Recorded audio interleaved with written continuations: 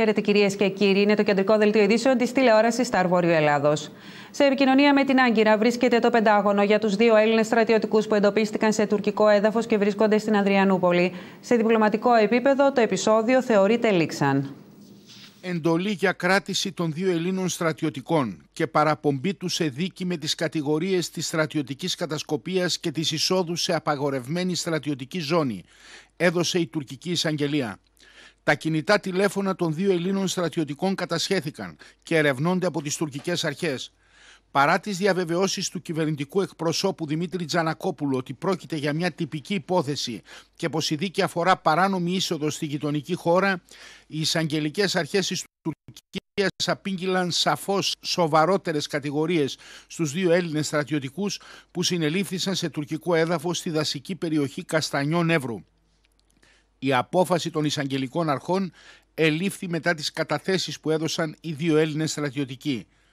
Σύμφωνα με το Ανατολού, οι Έλληνες στρατιωτικοί υποστηρίζουν ότι χάθηκαν. Η ελληνική πλευρά τονίζει ότι οι Έλληνες στρατιωτικοί πέρασαν σε τουρκικό έδαφος καθώς έχασαν τον προσανατολισμό τους λόγω δυσμενών καιρικών συνθήκων.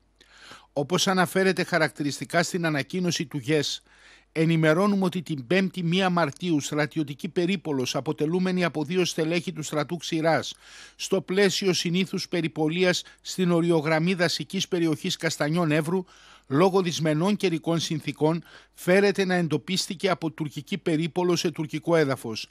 Για το περιστατικό έχουν επιληφθεί αρμόδιες αρχές. Από την πρώτη στιγμή οι ελληνικές αρχές βρίσκονται σε επικοινωνία με τις τουρκικές αρχές και είναι σε εξέλιξη διαδικασίες επανόδου στην Ελλάδα. Είναι καλά στην υγεία τους, βρίσκονται στην Ανδριανούπολη προκειμένου να ολοκληρωθούν οι τυπικές διαδικασίες. Λίγο νωρίτερα, κατά την ενημέρωση των πολιτικών συντακτών, ο κυβερνητικός εκπρόσωπος ανέφερε ότι η ελληνική κυβέρνηση βρίσκεται σε συνεχείς επαφές με τις τουρκικές αρχές για τη διευθέτηση του ζητήματος που είχε προκύψει με τα δύο στελέχη του ελληνικού στρατού. Όπως είπε ο αρχηγός ΓΕΘΑ κ. Αποστολάκης, είχε συνομιλία σε καλό κλίμα με τον Τούρκο ομολογό του και πρόσθεσε: Το χθεσινό περιστατικό προέκυψε από ένα λάθος. Εξαιτίας των καιρικών συνθήκων, οι Έλληνες βγήκαν από το δρομολόγιο τους και βρέθηκαν σε τουρκικό έδαφος.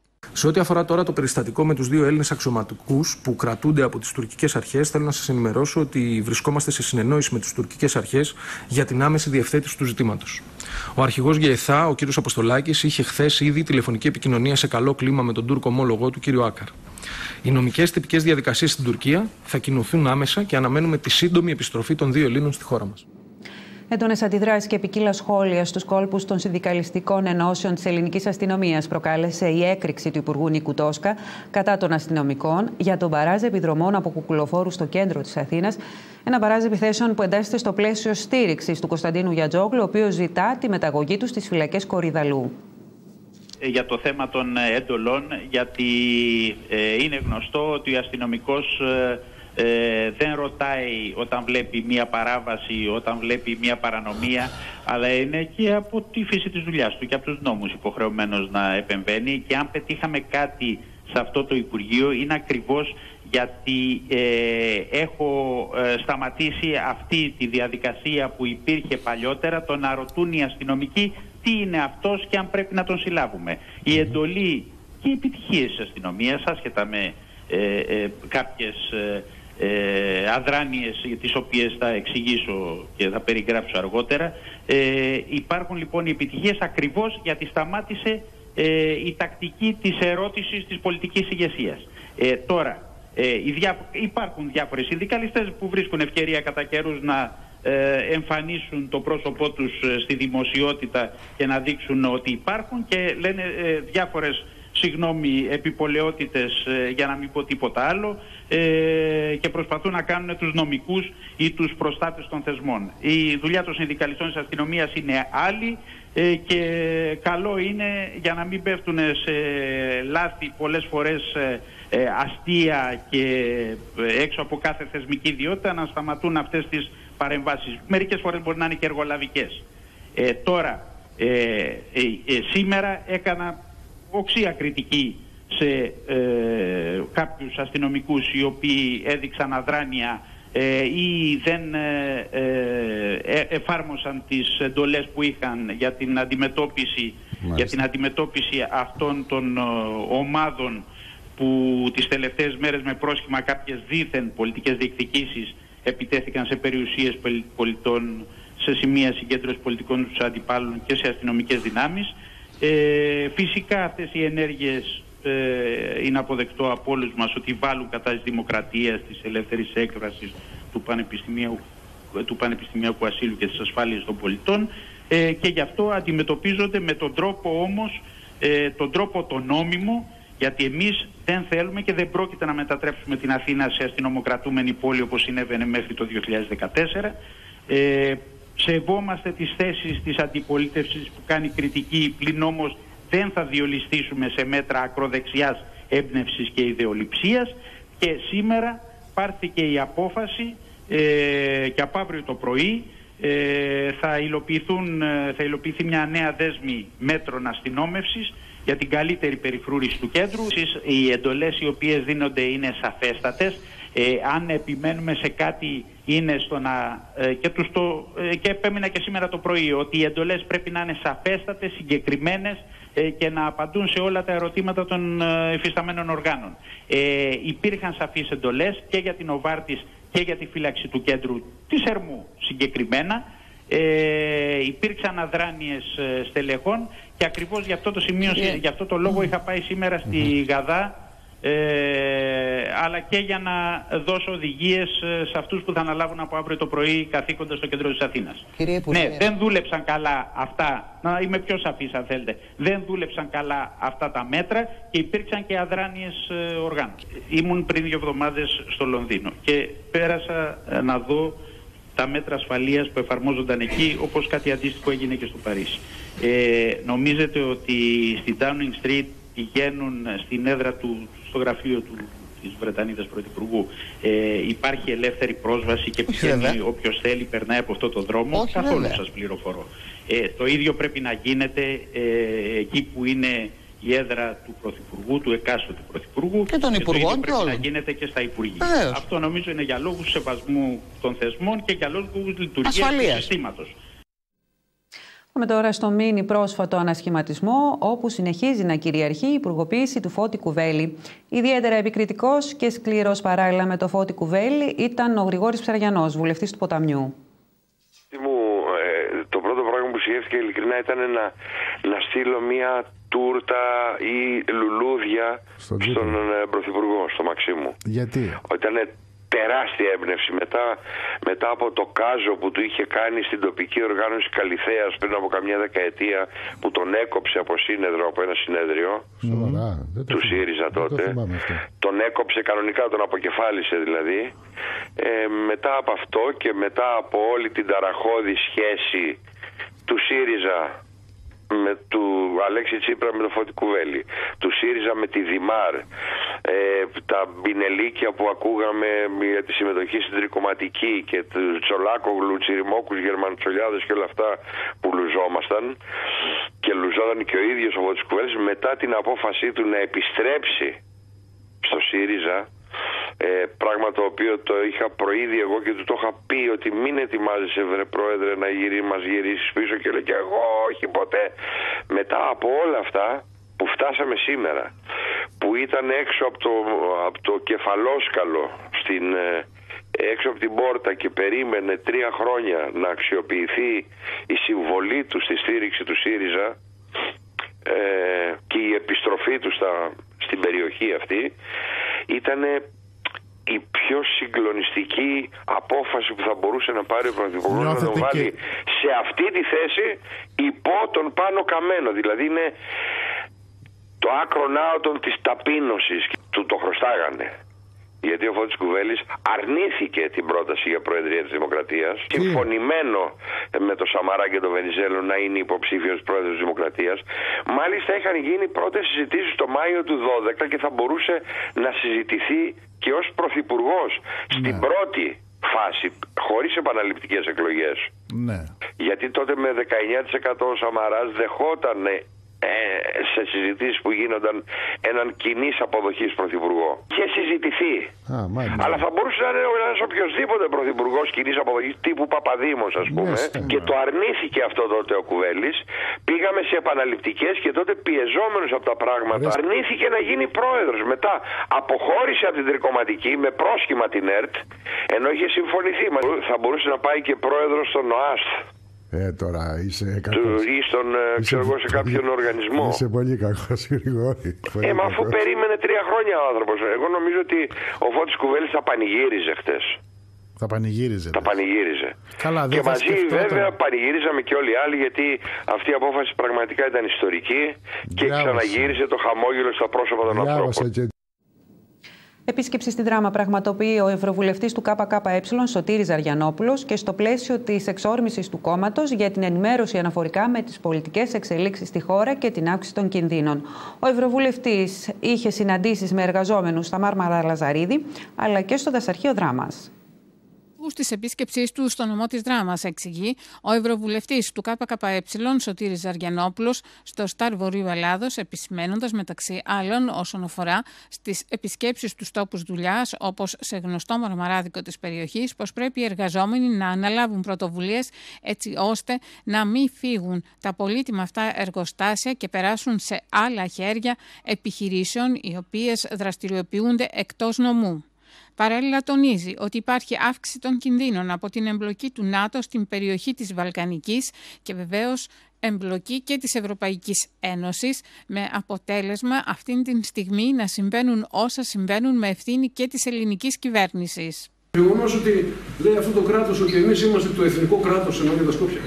Το εθνικό κράτος μιας ευρύτερης εθνότητας που λέγεται Μακεδόνες και οι οποίοι όμως Μακεδόνες δεν είναι μόνο σε αυτό το κράτος, αλλά βρίσκονται και στην Ελλάδα, βρίσκονται και στην, ε, στην Βουλγαρία, βρίσκονται και στην Αλβανία.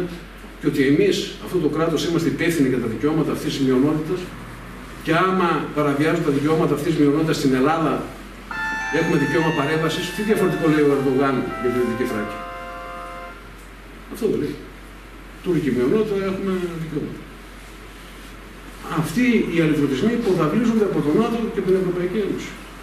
Που σημειωτέων και το βλέπετε στις τηλεοράσεις, ακόμη και όταν συζητιέται η σύνθετη ονομασία, καμία σύνθετη. Μακεδονία στα ίσια. Όπως λέει ο Γιούγκερ, το είπα και το ξέχασα. Το Μακεδονία. Το, το ζήτημα, το μοναδικό δεν είναι το όνομα. Το ζήτημα από πίσω βρίσκεται. Το Κομμουνιστικό Κόμμα Ελλάδας ε, εξελίσσει αυτόν τον καιρό ιδιαίτερα έντονα, γιατί όλο τον καιρό το κάνει, μια πολιτική εξόρμηση σε όλη τη χώρα και με αφορμή τις τελευταίες εξελίξεις στα λεγόμενα εθνικά ζητήματα. Βαλκάνια, ονοματολογία Σκοπίων, ελληνοτουρκική ελληνοτουρκικές διαφορές με την όξυση της επιθετικότητας και των διεκδικήσεων της Τουρκίας, θέλοντας να πει το εξής. Κανένας εφησυχασμός που προσπαθούν να καλλιεργήσουν τα υπόλοιπα κόμματα οι κίνδυνοι στην περιοχή μας αυξάνονται, διότι στην περιοχή μας εμπλέκονται παγκόσμιοι παίκτες, Ηνωμένες Πολιτείες, Ρωσία, Κίνα, Ευρωπαϊκή Ένωση, ΝΑΤΟ. Το τελευταίο μαζί με την Ευρωπαϊκή Ένωση, το ΝΑΤΟ δηλαδή, είναι αυτό το οποίο πιέζει αφόρητα όλες τις πλευρές για να λυθούν οι τελευταίες εκκρεμότητες σχετικά με το όνομα των Σκοπίων, να ενταχθεί αυτή η χώρα στο ΝΑΤΟ. Το ίδιο βεβαίως κάνει και η Ευρωπαϊκή Ένωση με όλα τα Δυτικά Βαλκάνια.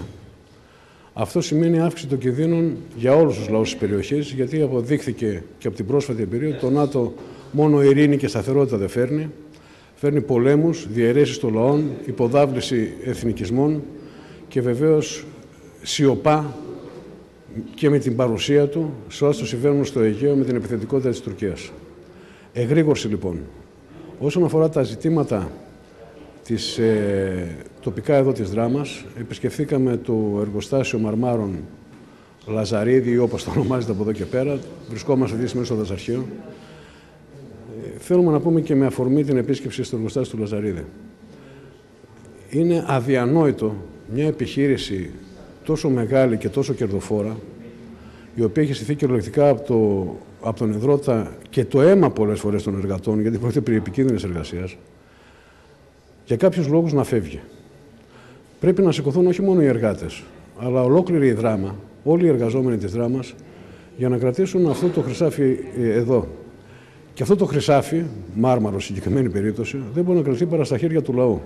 Κανένας επιχειρηματίας δεν μπορεί ε, να διασφαλίσει ούτε την εργασία, ούτε το μισθό, ούτε τα δικαιώματα των εργαζόμενων, ούτε βεβαίως ακόμα και την ίδια την ε, αξιοποίηση αυτού του πλούτου. Θα κερδίσει ό,τι είναι να κερδίσει, μετά θα μεταφερθεί σε άλλους κλάδους, σε άλλες χώρες, στην Κίνα. Και όμως αυτά τα εργοστάσια είναι χρυσοφόρα, τα έχουν χτίσει οι εργάτες, τα έχουν ματώσει οι εργάτες, τα έχουν ιδρώσει οι εργάτες, πρέπει να μείνουν εδώ.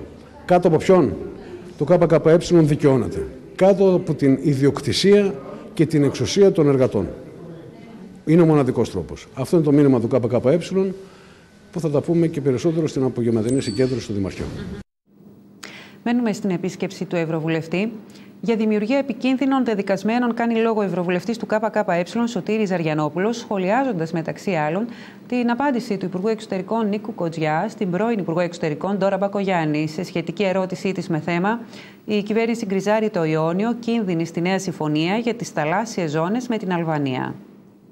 Ο Ευρωβουλευτής του ΚΚΕ τονίζει χαρακτηριστικά πως οι αποφάσεις και οι κινήσεις ε, του κυρίου Κοτζιά δημιουργούν δεδικασμένα και για την άλλη πλευρά, εννοώντας την Τουρκία, και προειδοποιεί για πολύ επικίνδυνες εξελίξεις, καθώς είναι άμεση η εμπλοκή του ΝΑΤΟ και της Ευρωπαϊκής Ένωσης, με έντονο μάλιστα χαρακτήρα.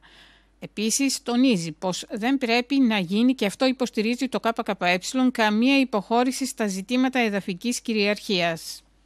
Να σας ρωτήσω και κάτι άλλο, κύριε Ζαριανόπουλο. Το τελευταίο διάστημα, τουλάχιστον τα τελευταία 24 ώρα, τίθεται και θέμα παραχώρησης τμήματος της υφαλοκρηπίδας για την επέκταση των μιλίων και προς την Αλβανία. Τι σημαίνει αυτό και αν ανοίγει τον ασκό του αιώλου, γιατί ε, κάτι πενήσεται ο κύριος Κοντζιάς, αλλά φαντάζομαι ότι έτσι στρώνει τραπέζι για πολλούς συνδετημόνες. Το τι κάνει σε μία πλευρά της εξωτερικής πολιτικής ουσιαστικά δημιουργεί δεδικασμένα δεδομένα και την άλλη πλευρά της εξωτερικής πολιτικής. Δηλαδή, αν έχεις υποχωρήσει στα ζητήματα υφαλοκρηπίδας, ορισμού ορίων ε, όσον αφορά την εκμετάλλευση των ε, θαλασσίων ε, πηγών, την έρευνα διάσωση ή οτιδήποτε άλλο, στην πραγματικότητα δημιουργείς δεδικασμένα και για την άλλη πλευρά της χώρας μας, για το Αιγαίο κτλ. Και επειδή οι βλέψεις και οι απειλές κατά της εδαφικής ακαιρεότητας, το ξαναλέμε, με τις πλάτες του ΝΑΤΟ και της Ευρωπαϊκής Ένωσης, που ως γνωστόν δεν αναγνωρίζουν σύνορα από το ίδιο το καταστατικό επισήμως.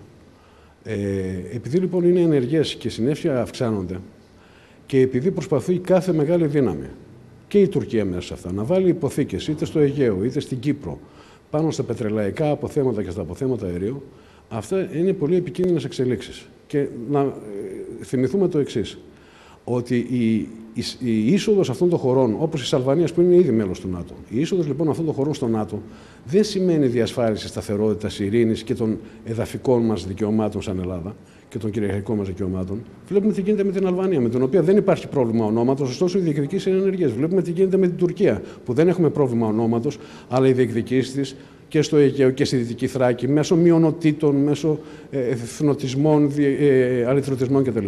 Είναι ενεργές. Αυτούς λοιπόν τους αλυτρωτισμού, αυτές τις ε, καλλιεργεί, τις υποδαβλίζει το ΝΑΤΟ, το οποίο διέλυσε την Ιουγκοσλαβία και δημιούργησε το σημερινό πρόβλημα.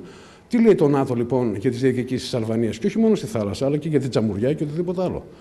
Το ΚΚΕ λέει καμία υποχώρηση στα ζητήματα της εδαφικής κυριαρχίας. Καμία υποχώρηση στα ζητήματα αλυτρωτισμών, να φύγουν από το Σύνταγμα της, ε, της διπλανής χώρας. Και βεβαίως η είσοδό της στο ΝΑΤΟ δεν θα σημαίνει καλά μηνύματα για τη χώρα μας, αντίθετα και για το λαό αυτής της χώρας και όλων των χωρών και για τη χώρα μας θα σημαίνουν αρνητικά μηνύματα. Ούτε στο ΝΑΤΟ ούτε στην Ευρωπαϊκή Ένωση. Οι λαοί μπορούν με αλληλεγγύη να τα βρουν μεταξύ τους, αν λείψουν από τη μέση αυτοί οι οποίοι θέλουν να τους εκμεταλλευτούν για τα δικά τους κέρδη. Έχουμε όμως κι άλλο σκάνδαλο με το μετρό. Λέγεται ότι η γερμανική εταιρεία πριν από αρκετά χρόνια είχε χρηματοδοτήσει ελληνικές κυβερνήσεις. Τι λέτε και για το καινούριο σκάνδαλο; Ζούμε εν μέσω σκανδαλολογίας και εν μέσω γκρίζων ζωνών και απειλών κατά της χώρας. Τα σκάνδαλα είναι παρχτάρα να κάνουμε δύο παρατηρήσεις. Το πρώτο είναι ότι είναι πραγματικά άθλιο, άθλιο. Αυτή τη στιγμή ΣΥΡΙΖΑ, Νέα Δημοκρατία, ΠΑΣΟΚ, τα μεγαλύτερα κόμματα, να παλεύουν μέσα στη Βουλή, να αλληλοβρίζονται για μια πολιτική που από κοινού έχουν ακολουθήσει όλοι και οι προηγούμενοι και οι σημερινοί και ουσιαστικά να αποπροσανατολίζουν από τα κύρια ζητήματα του λαού μας, τα οποία είναι αυτά που συζητούσαμε χθες, τα εθνικά ζητήματα και οι απειλές, ένα, και δεύτερον, το τι ζει και τι θα ζήσει ο λαός μας με τη συνέχιση των μνημονίων. Με την ανεργία, με τους μισθούς που θα πέσουν κι άλλο, με τις συντάξεις που θα κοπούν το επόμενο διάστημα, με τη φορολογία που θα πληρώσουν κι άλλο οι εργαζόμενοι, για να γλιτώσουν ποιοι. Οι βιομήχανοι, οι οποίοι απαιτούν με χθεσινό τους έγγραφο να μειωθεί η φορολογία τους και να αυξηθεί των εργαζόμενων, να μειωθεί το, το ασφαλιστικό βάρος των βιομηχανιών, να χάσει την κοινωνική ασφάλιση του εργαζόμενου. Προσανατολίζουμε από αυτά τα πράγματα. Τα σκάνδαλα είναι παρκτά, αλλά να ξέρουμε ότι τα σκάνδαλα βγαίνουν πάντα σε χρόνους και από εκείνες τις πηγές που έχουν συμφέρον. Για παράδειγμα, το, η, η Νοβάρτη δεν είναι κάτι το οποίο αποκάλυψε η ελληνική δικαιοσύνη.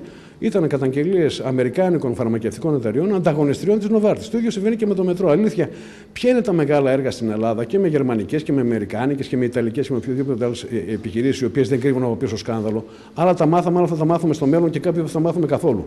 Το σκάνδαλο όμως τι, τι είναι στην πραγματικότητα; Το γεγονός ότι οι μεγάλες ιδιωτικές επιχειρήσεις βάζουν το χέρι τους στο δημόσιο κορβανά. Αυτό είναι.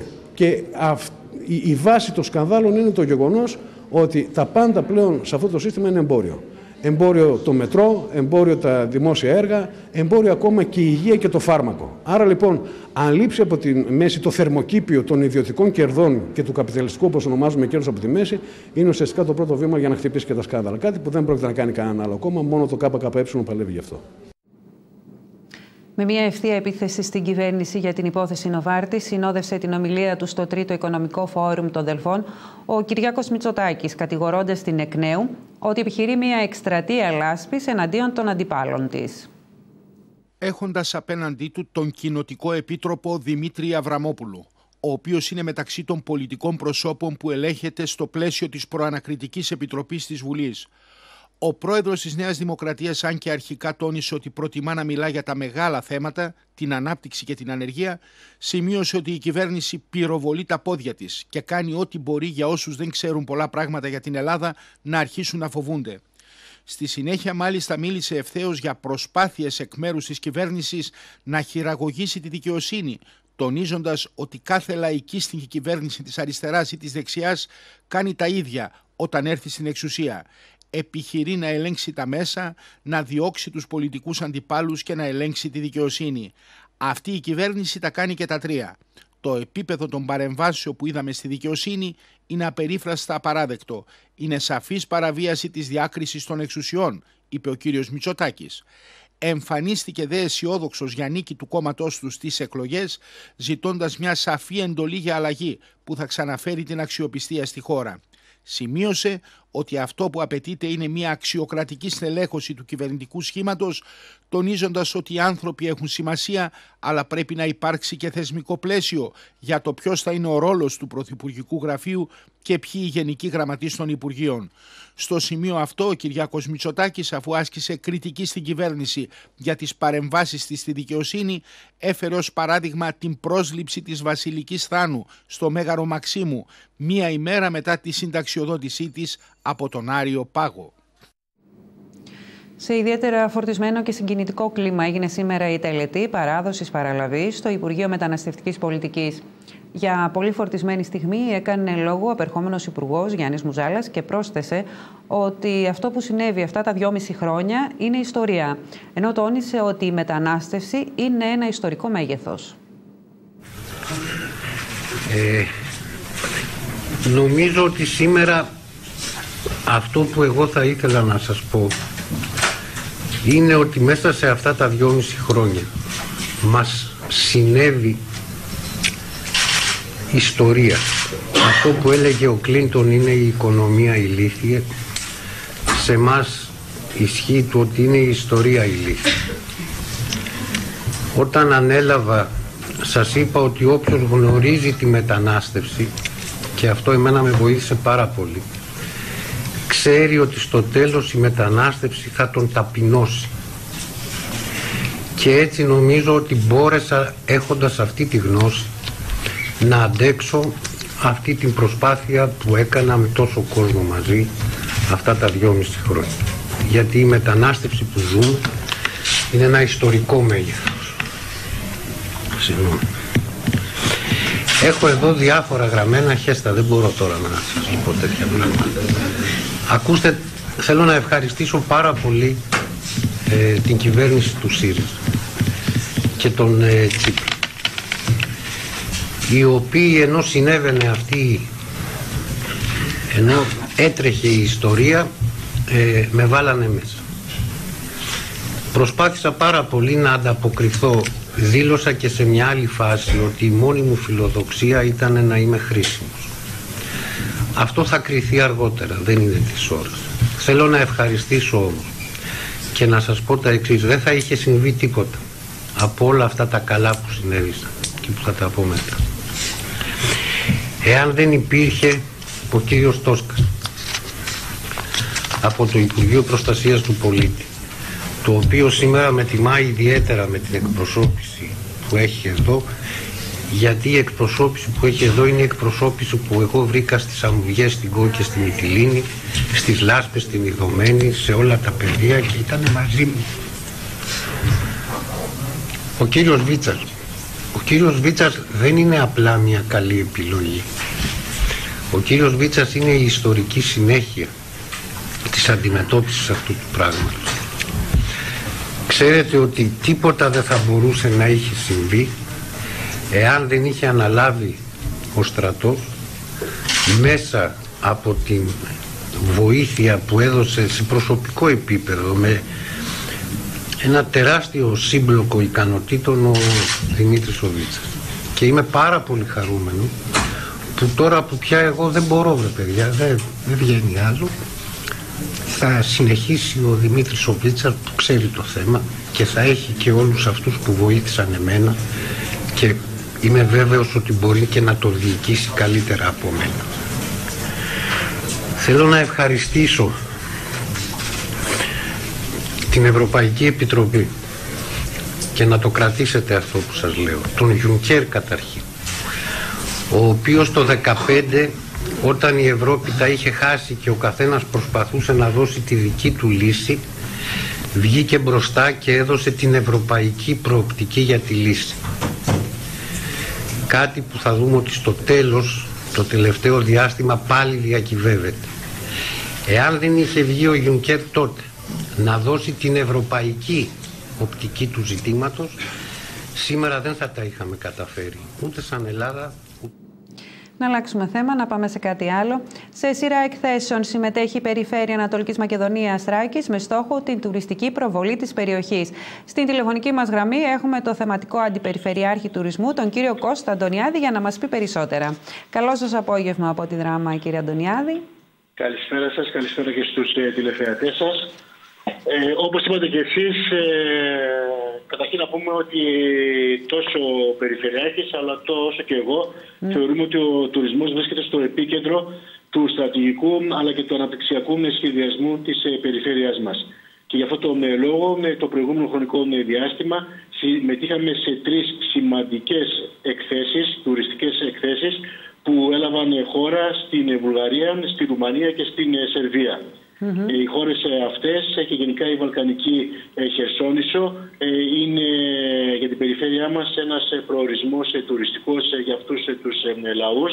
Δεν πρέπει να ξεχνάμε ότι οι Βούλγαροι είναι η πρώτη σε χώρα επισκεψιμότητας για την περιφέρειά μας, όπως και οι Ρουμάνοι που είναι η τέταρτη χώρα σε επισκεψιμότητα. Για αυτό το λόγο θεωρήσαμε ότι έπρεπε να συμμετέχουμε σε αυτές τις εκθέσεις, όχι τόσο για να μας γνωρίσουν, αλλά αφενός με για να δείξουμε ότι σεβόμαστε τους λαούς ε, αυτούς, αφετέρου δεν να δώσουμε την δυνατότητα και την ευκαιρία σε όλους ε, τους ε, επιχειρηματίες, τους ξενοδόχους και γενικά τους ανθρώπους του τουριστικού κλάδου ναι. μέσω του περιπτέρου που μισθώνει η περιφέρεια να μπορέσουν να προβάλλουν και να προωθήσουν τις επιχειρήσεις τους.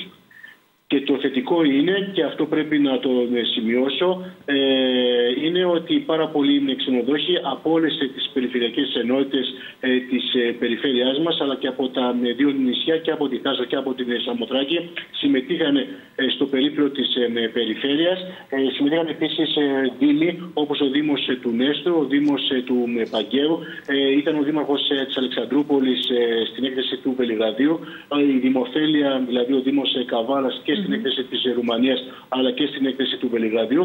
Και αυτό σηματοδοτεί πόσο σημαντικό, σημαντικό θεωρεί η τοπική κοινωνία αλλά και οι φορείς, τα επιμελητήρια, τις συγκεκριμένες εκθέσεις. Πρέπει να πούμε ότι ήταν ξενοδόχοι από την Αλεξανδρούπολη, από την Μαρόνια της Ροδόπης, από την Εκαβάλα, ήταν το επιμελητήριο της Εκαβάλα και δείχνει ότι και το 2018 θα είναι μια ιδιαίτερη καλή τουριστική χρονιά γιατί σύμφωνα με τους ξενοδόχους ε, ήδη έχουμε μια ε, αύξηση των προκρατήσεων σε ποσοστό ε, περίπου. Άρα έχουμε θετικά μηνύματα, κύριε Αντωνιάδη. Θετικά; Ναι, έχουμε ιδιαίτερα θετικά μηνύματα. Να πούμε εδώ ότι και στους τηλεθεατές σας ότι αφενός μένει ότι η Ρουμανία είναι μια μεγάλη χώρα.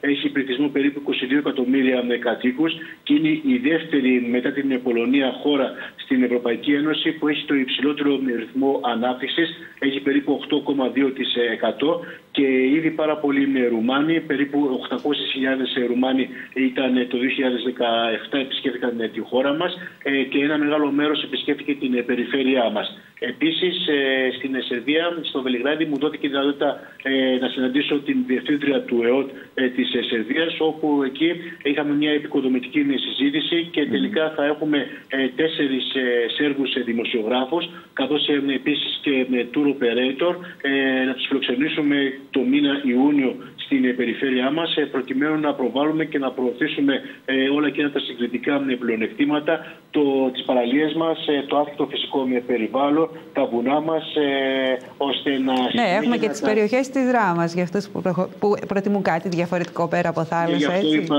γι αυτό είπα και το άθικτο φυσικό περιβάλλον. Ε, το είναι γνωστό ότι το δάσος του φρακτού, ε, το παρανέστη, ε, όλα αυτά ώστε να μπορέσουν να τα προβάλλουν στη συνέχεια σε, σε ένα μεγάλο κρατικό με κανάλι στην ε, Σερβία αλλά και οι πράκτορες οι οποίοι ε, θα έρθουν είναι το μεγαλύτερο τουριστικό με, ε, γραφείο, είναι το Κοντίκι το οποίο θα μας δώσει τη δυνατότητα με, να τους φιλοξενήσουμε και να τους, όπως είπα, να τους δείξουμε όλες εκείνες τις ομορφιές που έχει η περιοχή μας.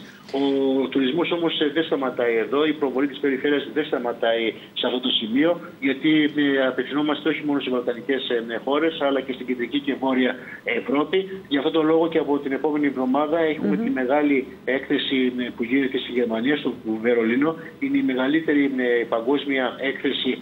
Ο, ο παγκόσμιος τουρισμός χτυπάει στο Βερολίνο. Γι' αυτό και η περιφέρεια θα συμμετάσχει από τις 7 ε, Μαρτίου μέχρι και τις 11 ε, Μαρτίου σε αυτή τη μεγάλη έκθεση όπου ξέρετε ότι η Γερμανία είναι μια ιδιαίτερη ε, μεγάλη χώρα, είναι η δεύτερη σε επισκεψιμότητα χώρα για την περιφέρειά μας και επομένως είναι ένας προορισμός τον οποίο Οπότε και από εκεί να, περιμένουμε. αναπτύξουμε και πρέπει οπωσδήποτε να το αναπτύξουμε. Μάλιστα, θετικά τα μηνύματα γενικά κύριε Αντωνιάδη. Σας ευχαριστώ πολύ για τη συζήτηση που είχαμε. Εγώ για την φιλοξενία σας. Να είστε καλά. Εμείς κυρίες και κύριοι στο σημείο αυτό να περάσουμε σε ένα σύντομο διάλειμμα για διαφημίσεις και σε λίγο θα είμαστε και πάλι μαζί.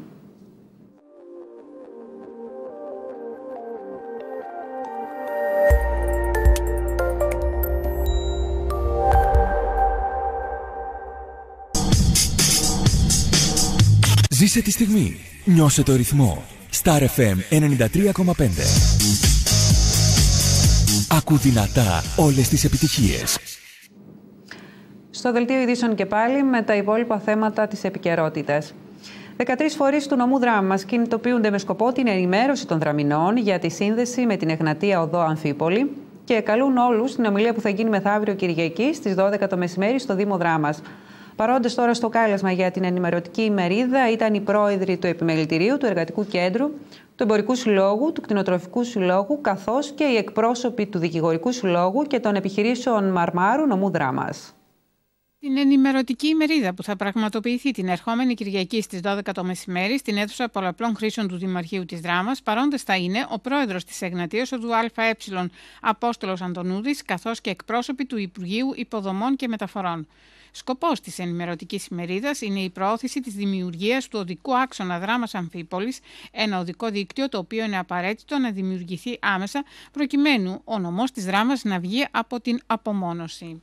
Θέλουμε να σας ενημερώσουμε ότι ε, την, την Κυριακή 12 η ώρα στην αίθουσα πολλαπλών χρήσεων του Δήμου Δράμας διοργανώνουμε μια ημερίδα με, με θέματα της, ε, της ε, σύνδεσης δράμας με την Εγνατία από την Αφίπολη.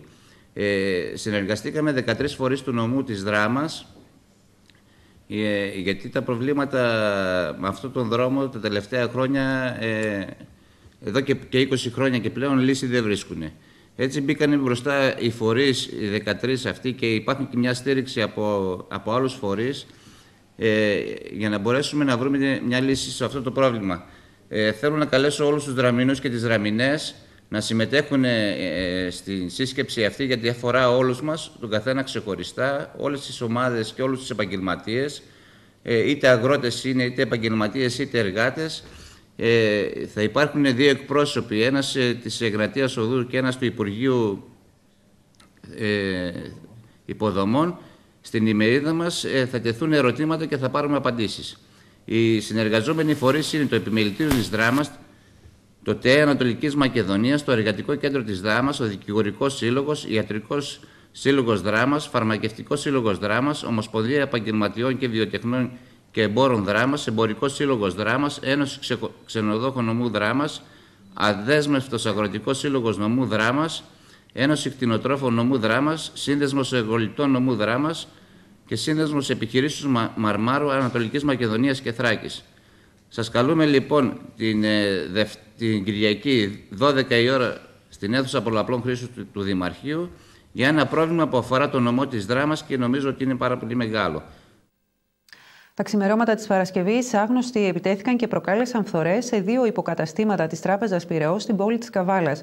Πρόκειται για τα υποκαταστήματα που βρίσκονται στην Ομόνια και στο Φάληρο.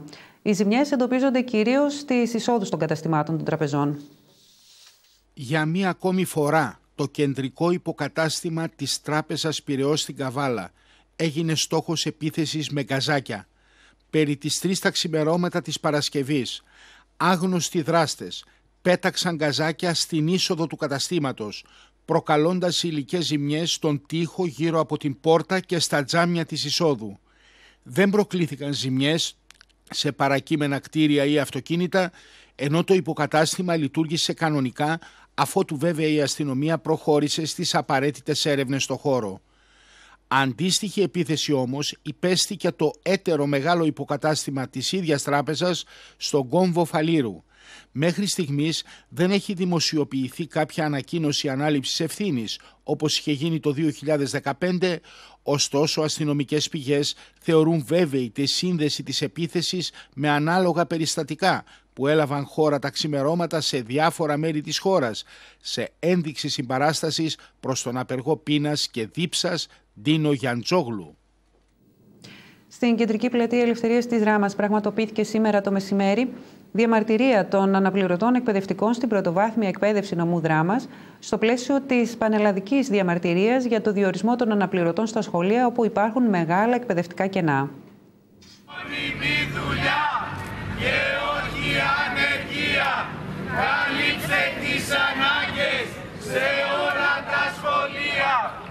Πρέπει επιτέλους να δοθεί ένα τέλος στην ομοιρία αυτών των ανθρώπων, καθώς παρά τα κενά στον χώρο της εκπαίδευσης έχουν παγώσει οι διορισμοί, ενώ και στην ειδική αγωγή υπάρχουν κενά, τονίζει ανάμεσα στα άλλα ο πρόεδρος του Συλλόγου των Εκπαιδευτικών της Πρωτοβάθμιας Εκπαίδευσης Νομούς Δράμας για τη διαμαρτυρία των αναπληρωτών σήμερα το μεσημέρι στην Κεντρική Πλατεία Ελευθερίας.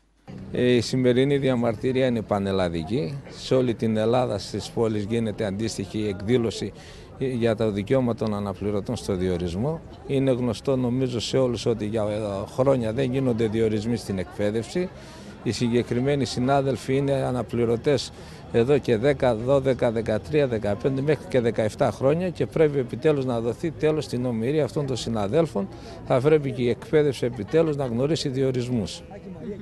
Πιστεύετε ότι ενώ γίνονται διορισμοί στο δημόσιο δεν γίνονται στον χώρο της εκπαίδευσης για συγκεκριμένους λόγους; Ε, νομίζω ότι εκτελούνται εντολές ε, μνημονιακές σαν δικαιολογία το λέει η κυβέρνηση αλλά μόνο η εκπαίδευση εξαιρείται από αυτές τις, τους άλλους διορισμούς και μόνο για την εκπαίδευση ισχύει το μνημόνιο. Τα οργανικά κενά στην πρωτοβάθμια εκπαίδευση είναι πάρα πολλά εδώ και χρόνια γιατί από το 10 και μετά έχουμε συνταξιοδοτήσεις και έχουν παγώσει διορισμοί.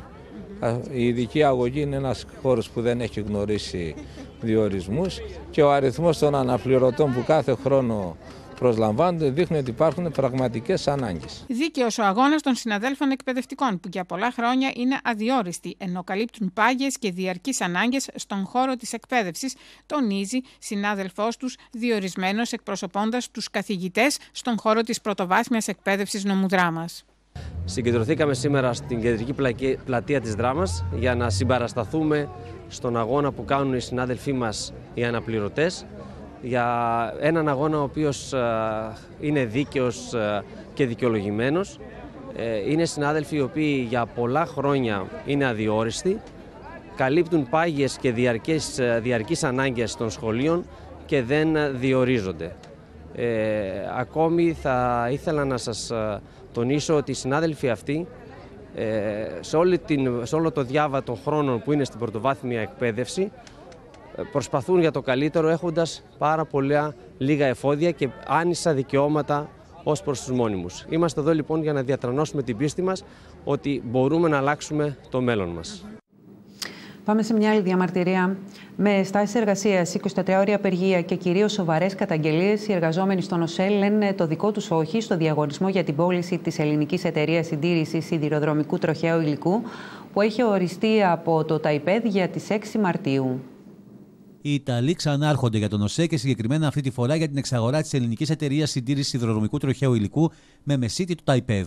Η Πανελλήνια Ομοσπονδία Σιδηροδρομικών είναι αντίθετη σε αυτήν την ιδιωτικοποίηση και για τον λόγο αυτό έχει προκηρύξει τρεις τρίωρες τάσεις εργασίας για τη Δευτέρα 5 Μαρτίου, από τις 5 έως τις 8 το πρωί, από τη 1 έως τις 4 το μεσημέρι και από τις 9 το βράδυ έως τα μεσάνυχτα. Καθώς και 24 ώρια απεργία για την 3η 6 Μαρτίου, τόνισε από τις αίρες όπου βρέθηκε το απόγευμα της Πέμπτης ο πρόεδρος του Συνδέσμου Σιδηροδρομικών Βορείου Ελλάδος και μέλος της Πανελλήνιας Ομοσπονδίας Σιδηροδρομικών Νίκος Λάζος. Ο λόγο που φτάσαμε εδώ πέρα για τις απεργικέ κινητοποίησει είναι η δυτικοποίηση της ΕΣΤΗ, η οποία είναι η τεχνική βάση συντήρησης του δρομικού τροχαίου υλικού. Και την Τρίτη στο ΤΑΙΠΕΔ είναι η καταρκτική ημερομηνία προσφορών για, να, για την εξαγορά της. Που κατά πάσα πιθανότητα είναι οι ίδιοι άνθρωποι, η ίδια εταιρεία μάλλον, που έχουν εξαγοράσει και την Τρενοσέ δηλαδή η Φερόβια Ντεστάρτο Ιταλιάνο. Σε περίπτωση που συμφωνηθεί η πώληση, τότε ο Ιταλικός κρατικό σιδηρόδρομο θα έχει το μονοπόλιο στη χώρα μας με ό,τι αυτό συνεπάγεται τόσο για το επιβατικό κοινό όσο και για τους εργαζόμενους, τονίζει ο κ. Λάζος. Το πρώτο και κυριότερο λόγος της επίπτωσης είναι ότι δεν θα υπάρχει ελληνικός σιδηρόδρομο. Ζούμε στην Ελλάδα χωρίς ελληνικό σιδηρόδρομο. Την Τρενοσέ Ιταλή, την Εστί Ιταλή, μπορείτε να φανταστείτε ότι αυτά τα λεφτά που έδωσαν οι Έλληνοι φορολογούμενοι, αυτά τα, εκατομμύρια, τα δισεκατομμύρια λεφτά για να γίνει αυτό το συνδρομικό δίκτυο που θα ολοκληρωθεί μέσα στο 18, τέλη 18 αρχές 19, θα έρθουν κάποιοι άλλοι να υποληφθούν αυτό το συνδρομικό δίκτυο. Δηλαδή τα λεφτά που δώσαν οι Έλληνες φορολογούμενοι από το ειστέρημά τους για να έχουν ένα σιδηρόδρομο καθώς πρέπει, θα έρθουν κάποιες ξένες εταιρείες να παίρνουν αυτά τα λεφτά. Οι εργαζόμενοι διαμαρτύρονται επίσης για τη συνεχιζόμενη απαξίωση του σιδηρόδρομου που αφορά κυρίως τις τεράστιες ελλείψεις προσωπικού. Τα τεχνικά προβλήματα είναι απαξίωση, είναι αυτό που είπε ο είναι η απαξίωση του σιδηροδρόμου εδώ και χρόνια. Κάποιοι, οι κυβερνήσεις, εκατέρωθαν όλες οι κυβερνήσεις που περάσαμε μέχρι τώρα, δεν θέλουν ένα σιδηρόδρομο αντάξιο σε αυτό που έχουμε στην Ελλάδα. Γι' αυτό αφήσαν το σιδηρόδρομο στο έλεος του Θεού. Τώρα προσπαθούν να κάνουν κάτι αλλά δυστυχώς, όπως σας είπα και πιο μπροστά, θα έρθουν κάποιοι άλλοι να εκμεταλλευτούν το σιδηρόδρομο. Αντιδρούν και οι φωτογράφοι της Καβάλας για την ανάθεση της έκδοσης φωτογραφιών για τις νέες ταυτότητες στα αστυνομικά τμήματα. Μάλιστα, το Σωματείο Φωτογράφων Καβάλας είχε συνάντηση σήμερα το πρωί στις 9 με τον Αντιπεριφερειάρχη και στις 12 με τη Δήμαρχο Καβάλας με σκοπό να εκφράσει τις ανησυχίες των επαγγελματιών φωτογράφων σχετικά με την πρόθεση της κυβέρνησης να ανατεθούν σε αστυνομικά τμήματα οι φωτογραφίες των νέων ταυτοτήτων και να ζητήσει τη συμπαράσταση των τοπικών αρχών στους φωτογράφους. Ε, αυτή τη στιγμή είναι στην πρόθεση του Υπουργείου, ε, σύμφωνα με τις οδηγίες της Ευρωπαϊκής Ένωσης, να αλλάξουν οι ταυτότητες, αλλά η προθέση του Υπουργείου είναι να γίνουν αυτά τα πράγματα σε αστυνομικά τμήματα. Να φύγει δηλαδή η λήψη των φωτογραφιών από τα φωτογραφία ε, στηριζόμενες σε λόγους μείωσης κόστους, σε λόγους ασφαλείας και σε λόγους ότι αυτά ισχύουν στην Ευρώπη. Ε, σαν επαγγελματίες φωτογράφοι, πιστοποιημένοι επαγγελματίες φωτογράφοι, αντιδρούμε σε, αυτά, σε αυτές τις σκέψεις της ε, κυβέρνησης και θέτουμε τους δικούς μας προβληματισμούς όσον αφορά τη μείωση του κόστους, ότι, γιατί κατά μας δεν υφίσταται μείωση του κόστους, θα υπάρχει και αύξηση του κόστους, γιατί υπάρχει το ενδεχόμενο της μετακίνησης πολιτών που βρίσκονται σε απομακρυσμένες περιοχές στα επιλεγμένα αστυνομικά τμήματα. ενώ αυτή τη στιγμή υπάρχουν φωτογραφία σε πολλά σημεία στο νομό Καβάλας. Παράδειγμα, υπάρχουν στην πόλη της Καβάλας, στην Ελευθερούπολη, στη Χρυσούπολη, στη Νέα Πέραμο, στις Κρενίδε, στη Θάσο, στην Οικίσιανη. Ε, όλοι οι άνθρωποι από αυτές τις περιοχές θα αναγκαστούν να κατεβούν στο αστυνομικό τμήμα της Καβάλας, όπως επίσης και άνθρωποι με κινητικά προβλήματα, οι οποίοι μέχρι τώρα εξυπηρετούνταν πηγαίνοντας ο φωτογράφος στο χώρο του. Αυτοί θα πρέπει να πάνε στα αστυνομικά τμήματα, άγνωστο πώς, Όσον αφορά το θέμα της ασφάλειας, για μας δεν τίθεται θέμα ασφάλειας γιατί τουλάχιστον εδώ και 10 χρόνια, 11 κοντά, ε, υποστηρίζουμε τις φωτογραφίες των ε, διαβατηρίων με τον καλύτερο τρόπο. Δεν έχουμε προβλήματα μεγάλα με τις φωτογραφίες των διαβατηρίων και το ελληνικό διαβατήριο συγκαταλέγεται μέσα στα 10 ασφαλέστερα έγγραφα στον κόσμο. Και όσον αφορά το τρίτο σκέλος περί ευρωπαϊκής, ότι αυτό ισχύει στην Ευρώπη, αυτό ισχύει σε ορισμένα κράτη της Ευρώπης, ε, στα οποία δεν υπάρχει εκτεταμένο δίκτυο φωτογράφων όπως είναι η Αλβανία και η Ρουμανία.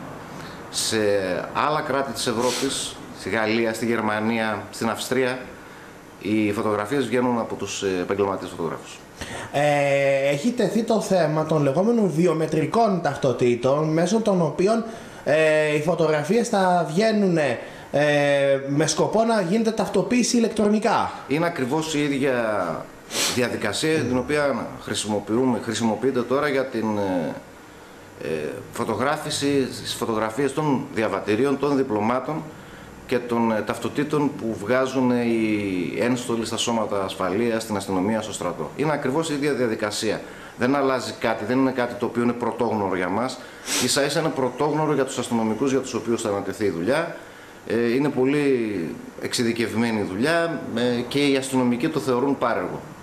Ε, ε, πιστεύετε ότι αυτή τη στιγμή υποδομές υπάρχουν στα αστυνομικά τμήματα, στα, στα κτίρια των αστυνομικών τμήματων της χώρας, ώστε να φιλοξενήσουν; Α μιλήσουμε καταρχήν για τον νομό Καβάλας. Ε, δεν γνωρίζω κατά πόσο υπάρχει υποδομή, αν εννοείται σαν κτηριακή υποδομή, σαφέστατα και υπάρχει. Ε, σαν εξοπλισμός. Εξοπλισμό, αυτό εννοώ. Εξοπλισμός εννοείται ότι δεν υπάρχει και ο εξοπλισμός ε, θα προμηθευτεί από ένα προμηθευτή σε όλη την Ελλάδα. Αυτό είναι, αυτή είναι η αντίδρασή μας ότι γίνεται μονοπωλιακό. Ε, δεν αλλάζει κάτι όσον αφορά την τσέπη του πελάτη. Ε, οι φήμες λένε ότι αυτό θα στοιχίζει 10 ευρώ η φωτογραφία.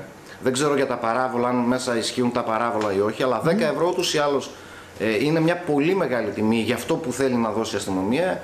Εμείς, σαν Ομοσπονδία Φωτογράφων, μπορούμε και έχουμε καταθέσει τις προτάσεις μας με πολύ χαμηλότερο κόστος από αυτό το 10 ευρώ και χωρίς να χρειαστεί να εξοδέψει το ελληνικό κράτος χρήματα όσον αφορά τον εξοπλισμό που θα πρέπει να προμηθεύσει τα αστυνομικά τμήματα. Στα αστυνομικά τμήματα βέβαια θα πρέπει να υπάρξει και εκπαίδευση των αστυνομικών. Ε, θα πρέπει να υπάρξουν, δεν ξέρω πόσοι αστυνομικοί οι οποίοι θα αποσπαστούν, αλλά αυτό δεν είναι δικιά μου δουλειά, είναι δουλειά των, mm. του Υπουργείου. Να αλλάξουμε θέμα. Ξεκίνησε η διαδικασία υποβολής των δηλώσεων ΟΣΔ 2018 σύμφωνα με τον ΟΠΕΚΕΠΕ και η καταληκτική ημερομηνία είναι η 15η Μαΐου του 2018 ενώ για κάθε ημέρα καθυστέρησης θα επιβάλλεται πρόστιμο επί της δικαιούμενης ενίσχυσης. Ε, πρόσφατα ο ΠΚΠ έχει, έχει ανοίξει το σύστημα προκειμένου να ξεκινήσει η ενεργοποίηση των δικαιωμάτων των παραγωγών για το έτος 2018. Ή, όπως θα λέγαμε με πιο απλά λόγια, ξεκινάει το ΩΣΔΕ για το 2018.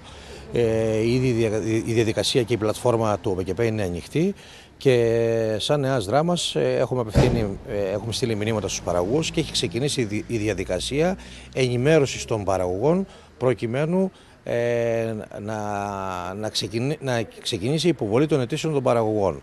Ήδη στα συνεργεία μας ε, οι άνθρωποι μας έχουν επικοινωνούν καθημερινά με τους αγρότες και όσοι δεν έχουν λάβει μηνύματα, καλό θα είναι να επισκεφθούν τα συνεργεία μας προκειμένου να τους δοθούν όλες οι απαραίτητες πληροφορίες που απαιτούνται έτσι, έτσι ώστε άμεσα και γρήγορα να ξεκινήσει η υποβολή της ε, καινούργιας αίτησης για το 2018. Από εκεί πέρα πλέον αυτό το οποίο είναι σημαντικό και πρέπει να γνωρίζει η παραγωγή είναι ότι ε, για φέτος για πρώτη φορά επίσημα ο ΠΚΠ αναφέρεται, αναφέρεται στην, στο ΑΤΑΚ, στον αριθμό ταυτότητας ακινήτου ε, και περιμένουμε διευκρινήσεις. Έχουμε κάνει σχετικές ερωτήσεις κατά πόσο θα είναι η υποχρεωτικότητά του και οτιδήποτε άλλο έχει να κάνει με το ΑΤΑΚ. Ε, θα μας δοθεί ε, νομίζω διευκρίνηση και εγκύκλωση από μέρους του ΟΠΚΠ έτσι ώστε ό,τι πληροφορία έχουμε θα τη μεταφέρουμε επίσημα και γρήγορα στους παραγούς έτσι ώστε να μπορούν να υποβάλουν σωστά την δήλωσή τους. Η προθεσμία; Η προθεσμία είναι από τη στιγμή που έχει ανοίξει το σύστημα, καταληκτική ημερομηνία είναι η 15η Μαΐου του 2018 και από εκεί και πέρα πλέον δεν ξέρουμε τι θα συμβεί. Από... Που σημαίνει ότι έχουμε μπροστά μας ένα δίμηνο, καλό θα είναι οι παραγωγοί να σπεύσουν να ανταποκριθούν στην υποχρέωσή τους. Στο Εργατικό Κέντρο Δράμας πραγματοποιούνται από χθες οι εκλογές για την ανάδειξη του νέου Διοικητικού Συμβουλίου του Σωματείου των Αστυνομικών Υπαλλήλων Νομού Δράμας. Η διαδικασία κύλησε σε πολύ καλό και ενωτικό κλίμα και κυρίως χωρίς προβλήματα, με τη συμμετοχή δύο παραταξιακών ψηφοδελτίων ήρεμο κλίμα διεξάγονται από χθες οι εκλογές για την ανάδειξη της νέας διοίκησης στους αστυνομικούς υπαλλήλους του νομού της Δράμας. Η όλη διαδικασία γίνεται χωρίς προβλήματα. Προωθούμε νέους συναδέλφους, λέει ανάμεσα στα άλλα, ο για άλλη μια φορά υποψήφιος Απόστολος Πιτσίκογλου, πρόεδρος μέχρι πρότινος του Σωματείου των Αστυνομικών Υπαλλήλων του νομού. Το κλίμα είναι πολύ ήρεμο. Οι εκλογές διεξάγονται δύο ημέρες ε, από το καταστατικό, όπως προβλέπετε. Ε, είναι παραταξιακά τα ψηφοδέλτια με το νόμο του 2011, το συνδικαλιστικό νόμο. Ε, είμαστε δύο παρατάξεις, ε, είμαστε σε κλίμα ενωτικό, δεν υπάρχει κανένα θέμα.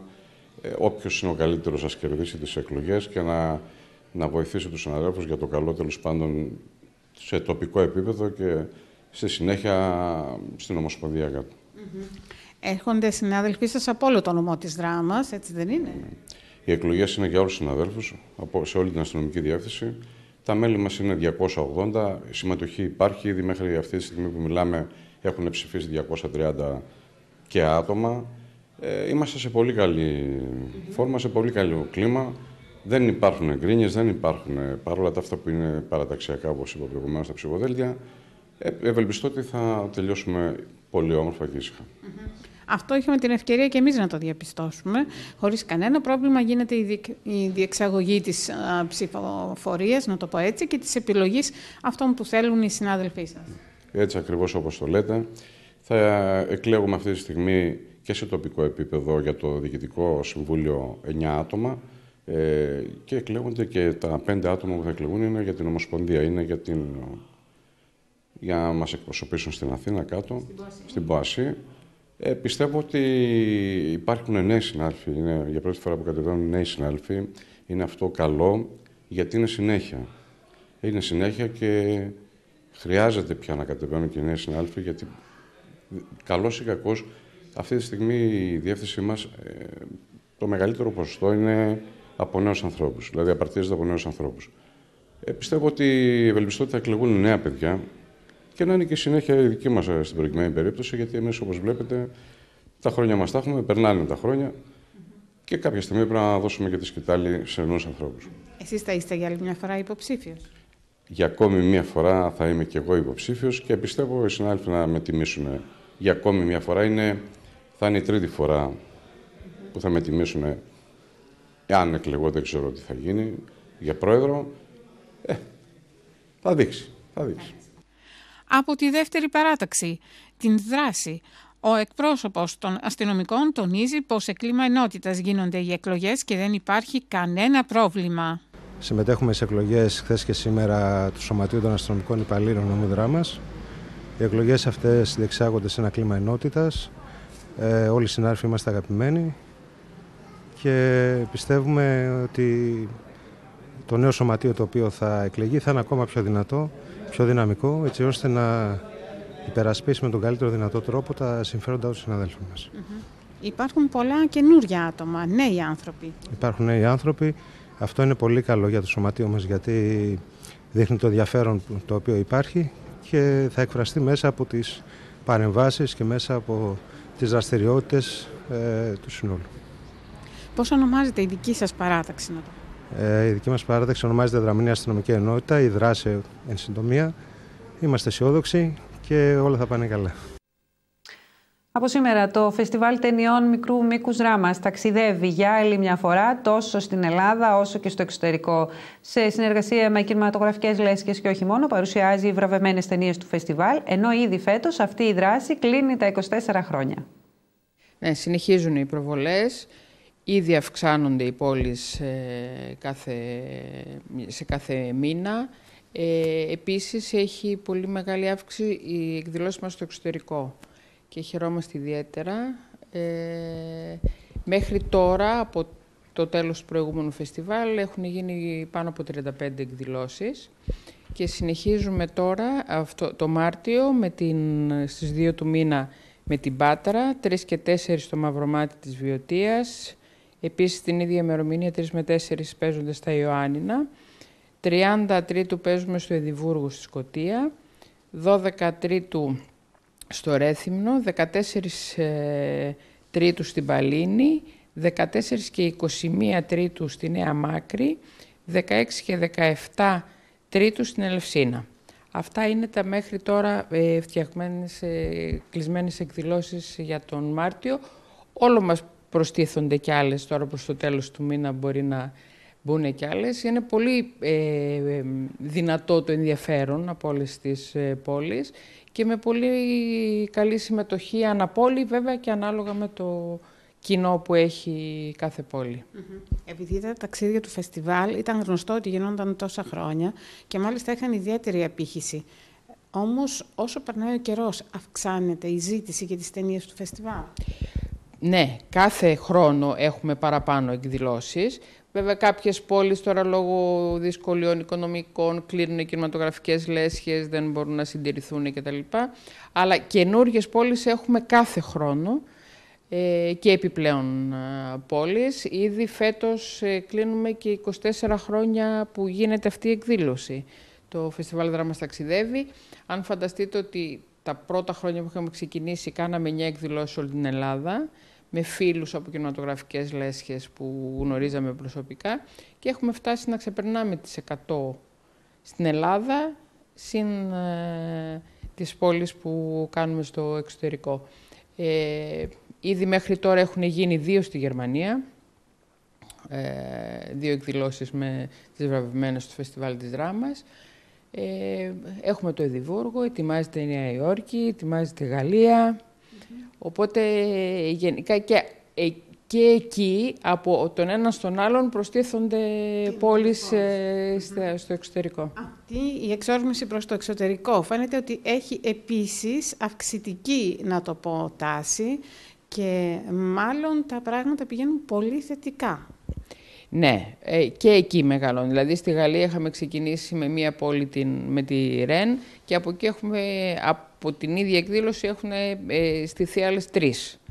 Ε, φέτος μας ε, επικοινώνησαν μαζί μας από, το, από τη Σιγκαπούρη, από την Ελληνική Πρεσβεία, να κάνουμε ε, προβολές εκεί. Ε, ήδη έχουμε μιλήσει με ένα γενική γραμματεία, τώρα δεν θυμάμαι ακριβώς πώς λέγεται, ε, όπου αυτοί θα προωθήσουν σε όλους τους ελληνικούς ε, συλλόγους ανά τον κόσμο για να κάνουν προβολές.